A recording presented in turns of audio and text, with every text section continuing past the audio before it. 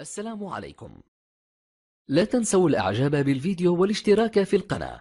تشجيعا لنا لنستمر بنشر المزيد إن شاء بسم الله الرحمن الرحيم. أسعار العملات الأجنبية مقابل الجنيه السوداني. قناة السودان اليوم. السودان دي عليكم ندوك للاشتراك والانضمام إلينا وتفعيل زر التنبيهات ليصلك كل جديد. توسط أسعار العملات الأجنبية مقابل الجنيه السوداني.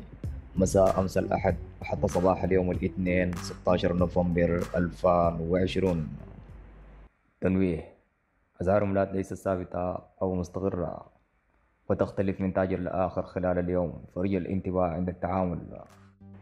الدينار الكويتي 738 جنيه الدينار البحريني 585 جنيه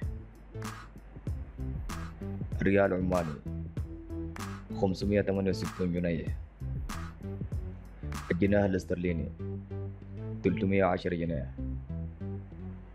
اليورو 290 جنيه. الدولار الأمريكي 252 جنيه. الدينار الليبي 71 جنيه. الدرهم الإماراتي 67 جنيه. الريال القطري 68 جنيه. الريال السعودي 66 جنيه. الجنيه المصري. 16 جنيه.